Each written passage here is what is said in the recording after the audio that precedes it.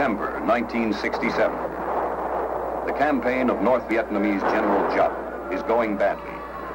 The Americans are applying the pressure on a dozen battlefields. His troops are taking mounting casualties and suffering from a loss of morale. He desperately needs a major victory. But the target he selects hands him one of the costliest defeats of the war and gives the Allies spectacular confirmation that a ground battle can be won by air power. Sanh, an Allied base manned by U.S. Marines and one battalion of South Vietnamese Rangers. Cornerstone of the defense line where the demilitarized zone and the Laotian border meet. The mountains surrounding Sanh overlook the Ho Chi Minh Trail. To Giap and to some Western observers, Sanh's similarity to Dien Bien Phu make it a lucrative target, one that might bring a victory as decisive as the one that forced the French withdrawal a decade before. Into the area, Giap moves two full divisions, more than 20,000 men, and positions them to surround the 6,000 defenders. A third division is moved toward the Marine base at Camp Carroll.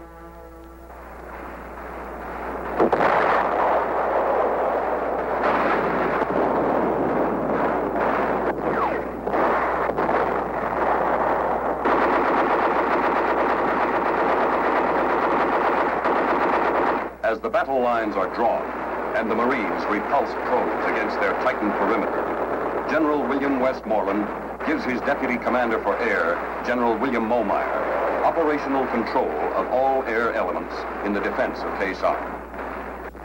On January 19th, the largest and best coordinated air campaign of the war is launched against the enemy.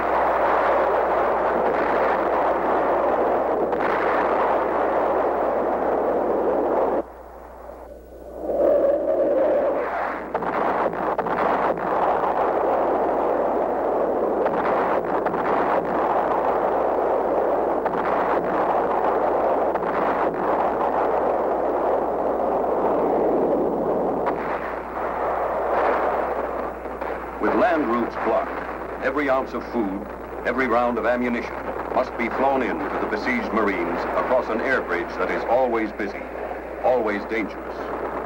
Enemy gunners score a hit on an A-4 flown by Marine Major Bill Loftus.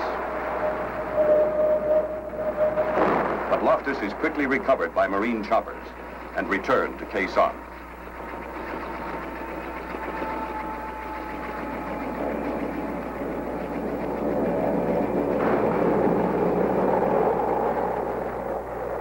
cargo aircraft become known as mortar magnets.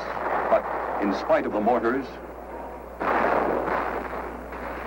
in spite of enemy anti-aircraft fire, in spite of bad weather, the air bridge is never cut.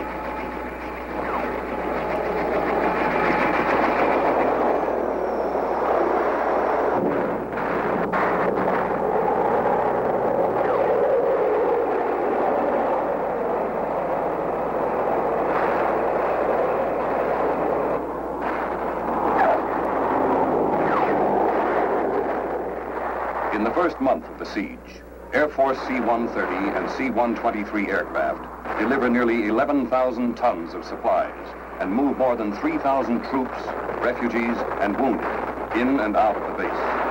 Their daily load averages as much as an 80-truck convoy.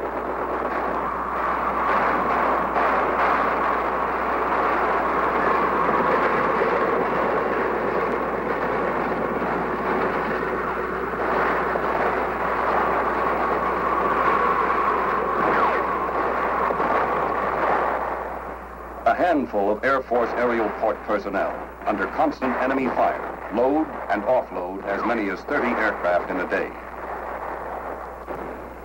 As the supply by air continues, the Air Force coordinates intelligence from all sources to pinpoint the enemy positions. Air Force reconnaissance crews are able to penetrate the jungle canopy and zero in on enemy targets with highly sophisticated electronic and photographic devices that detect the enemy's slightest move.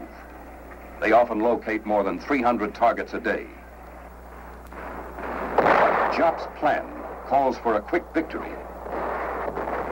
He steps up the intensity of his assault, scores a hit on the Marine ammunition dump.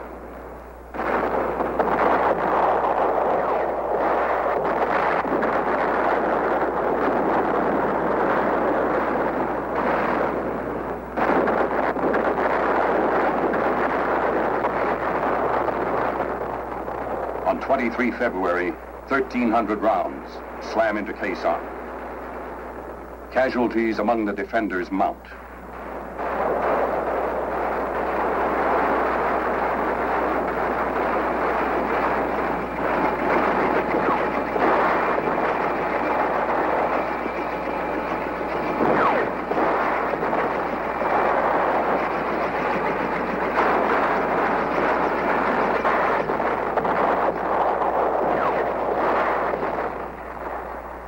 Marines burrow deeper and call for suppressive fire from fighter aircraft.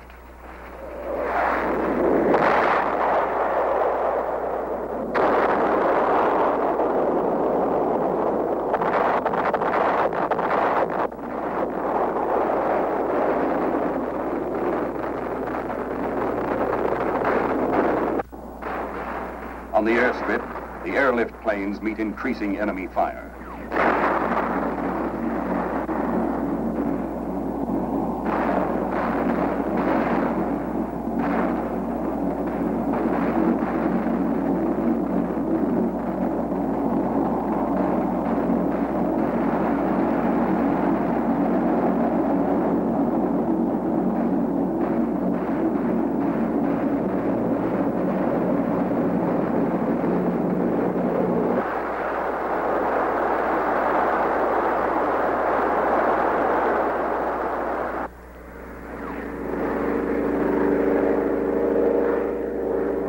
Intensifying barrage forces the planes to deliver the goods by parachute. The communists are steadily increasing their attack. The specter of Dien Bien Phu is revived in American headlines. But what the French lacked, the Americans have in overwhelming strength, the decisive element of air power.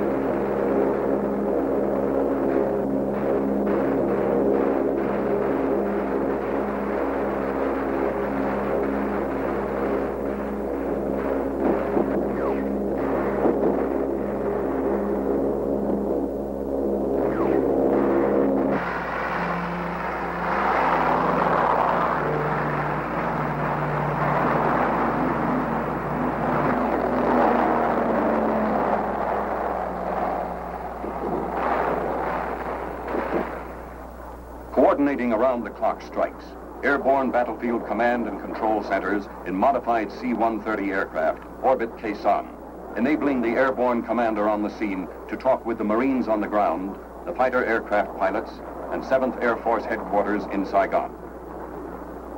Armed with the latest target information, the AB-CCCs direct the forward air controllers, who in turn direct the fighter bombers to enemy positions within yards of the Marines' perimeter.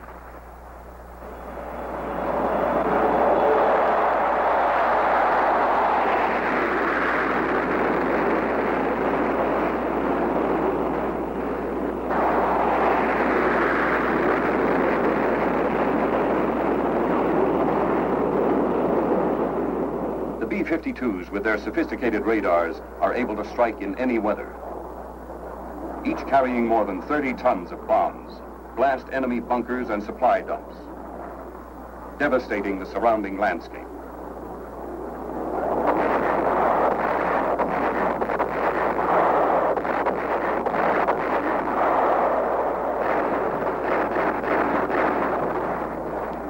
At night, unseen and unheard, until their payloads hit. They strike terror into the hearts of the communist troops.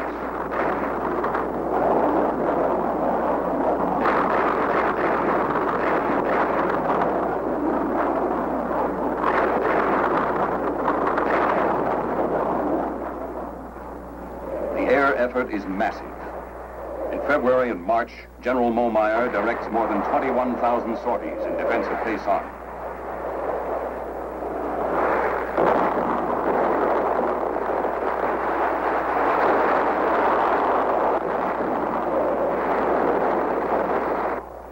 these, 2,500 are flown by the B-52s.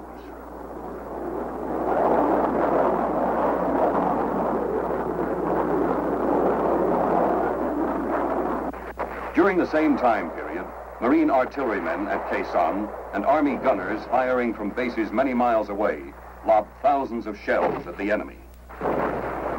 In March, about the time of the 14th anniversary of his victory at Dien Bien Phu, Giap orders the withdrawal of the first of two divisions which are then in the process of being destroyed.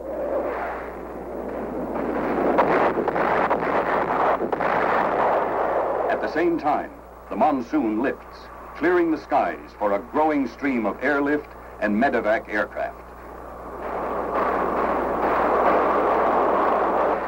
Tactical fighters continue their precise attacks, complementing the heavy bombardment of the B-52s increasing the pace of the enemy withdrawal. The Marines move out in pursuit of the enemy. Now the extent of the communist defeat becomes more apparent. The debris left on the battlefield is mute testimony.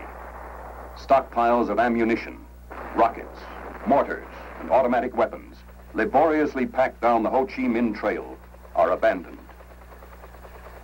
Captured North Vietnamese troops provide added facts. One regiment is reported to have lost 75% of its 2,000 men. Mass desertions to escape the bombing are not uncommon. Giap's soldiers were existing on starvation rations. Total enemy losses are estimated at 15,000 men. The long siege is over. On April 7th, the President of the United States sends a message to the armed forces in Southeast Asia. The relief of the forces which have held the base at Sanh is an occasion for me to express the pride and confidence I feel in those who are carrying forward the nation's struggle against aggression in Southeast Asia. The enemy intended to overrun the base at Sanh.